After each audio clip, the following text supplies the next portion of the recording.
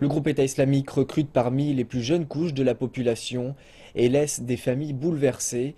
Face aux techniques élaborées d'endoctrinement du groupe terroriste, elles assistent impuissantes à la transformation de leurs enfants qui s'en vont combattre en Irak ou en Syrie.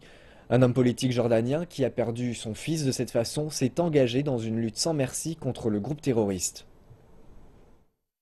Mohamed Dalaïn avait pourtant un avenir prometteur.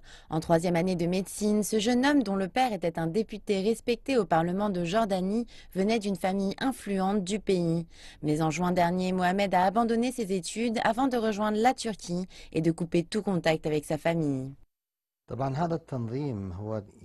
Le groupe État islamique attire les jeunes gens via les médias sociaux et les convainc qu'en se joignant à leur action, ils suivent le véritable chemin de l'islam et qu'ils iront au paradis.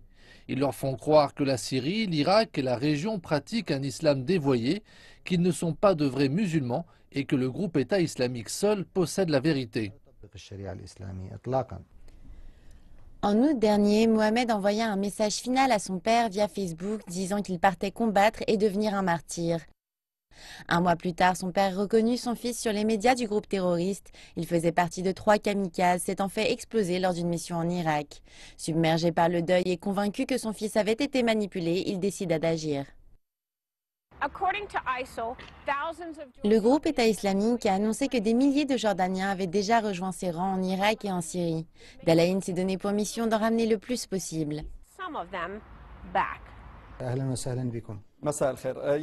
Utilisant les mêmes plateformes de médias sociaux que les terroristes, il s'adresse aux jeunes Jordaniens et à leurs familles. Il leur demande de ne pas rejoindre le groupe État islamique ou s'ils l'ont déjà fait, leur promet qu'il les aidera à en sortir. Je leur parle comme un père. Je leur explique à quel point la mort de mon fils a meurtri notre famille. Je fais également appel à leur morale religieuse et leur explique que l'islam condamne le fait de trahir ou de blesser ses parents que s'ils veulent être un bon musulman, ils ne peuvent trahir leur famille. Sa stratégie a porté ses fruits et il a ainsi sauvé de nombreuses vies, y compris celle d'une femme. Malgré les menaces de mort du groupe État islamique, la volonté de Mazen Dalaïn est inébranlable. Il explique qu'il le doit à la mémoire de son fils.